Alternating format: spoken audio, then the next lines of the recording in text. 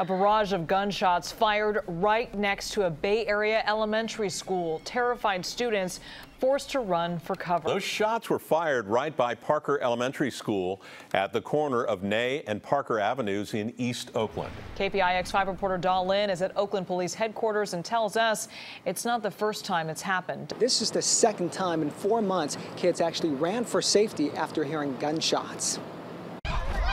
The kids at Parker Elementary are back at the playground after another scary shooting that happened yesterday around 1:30. Surveillance video first captured seven shots.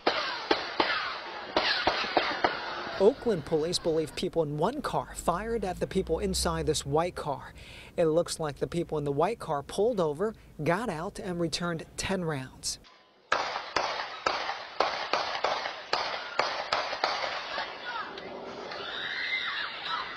It happened on Ney Avenue near Parker Elementary. You can hear the kids screaming and someone telling them to go. Third grader Mario Corrales Guerrero says it was the teachers telling them to run. His mother also heard the shots. They live near the school. I feel sad because somebody could have got hurt at the school, some kids. You can also see a postal worker hiding behind her truck.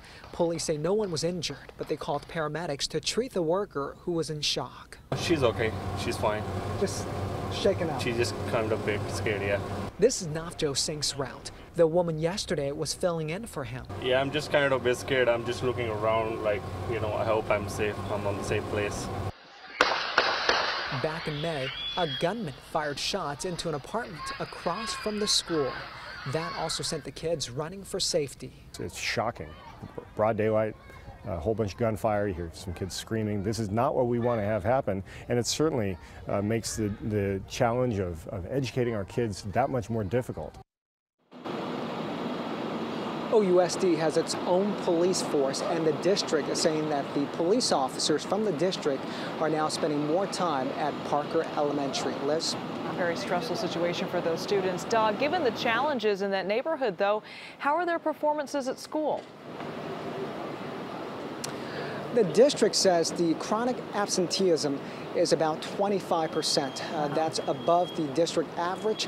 The overall uh, test score is also below the district average. Now, the district is quick to point out um, these shootings obviously don't help, but there's also so many other major factors that contribute to those numbers like hunger, transportation, what's happening at home. So a lot of other factors play into the numbers. A lot of challenges there. All right, Da, thank you.